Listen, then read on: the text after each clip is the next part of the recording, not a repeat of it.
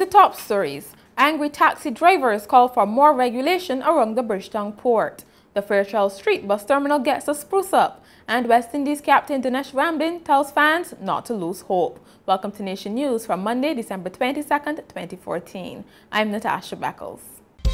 No matter where you are in the world, at home or abroad, Nation News keeps you connected with what's happening in Barbados through our website, video newscast, and online e-papers. So stay connected with Nation News.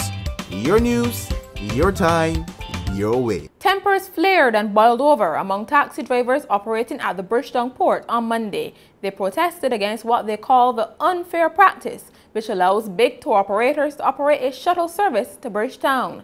The taxi drivers say a tour operator moved four large loads of passengers to the city on the free service before it was eventually halted by the chief of security.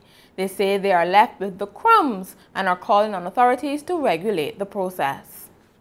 The Fairchild Street bus terminal is now a bit more pleasant and appealing for commuters following a $34,000 enhancement from telecommunications company Lime. Minister of Transport and Works Michael Lashley toured the terminal and its environs on Monday, along with officials of the ministry and the Transport Board. The terminal was painted and power washed, and it now has free Wi-Fi. Lime's Chief Financial Officer Patrick Hinkson says students cannot do their homework online while they wait for the bus.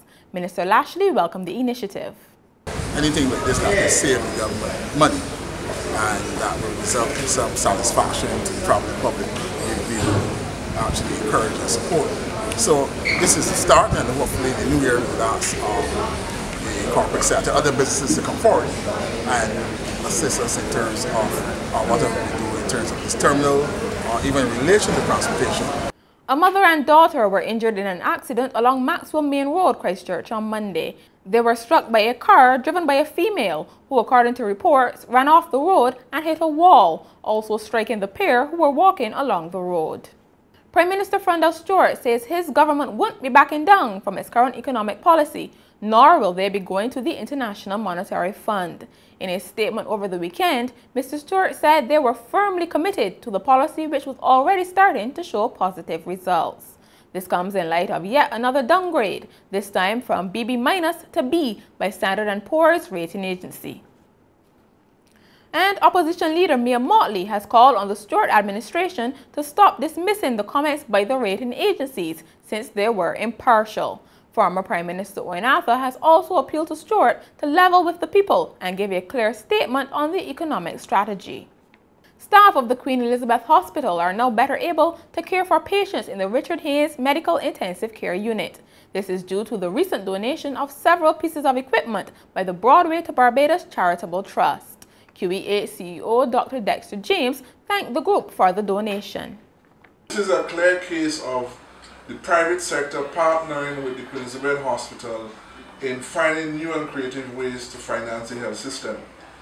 It is not the panacea for solving the sustainable financing for the hospital, but certainly it is part of the evolving model of embracing philanthropy and as well as the diaspora in trying to move um, uh, the health system forward. In sport, West Indies captain Denesh Ramdin has warned detractors not to write the team off just yet. The tourists were humiliated by an innings and 220 runs in the opening test against South Africa on Saturday.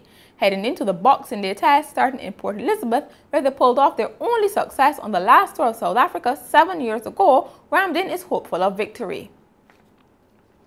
Meantime, the West Indies Cricket Board completed a shake-up of its teams for the shorter versions of the game over the weekend. 23-year-old Barbadian all-rounder Jason Holder has been named captain of the one-day team, taking over from Dwayne Bravo, who has been left out of the squad. Kieron Pollard and Darren Sammy have been named in the 2020 side only. And finally, a New Jersey public school principal has been demoted to vice principal and transferred to another school, all because of a misspelled sign. Parents discovered that the words December and reports were spelled incorrectly while the number one was placed backwards. The sign went unnoticed for more than a week, but then a photo of it went viral on social media, prompting the school to take action against the principal.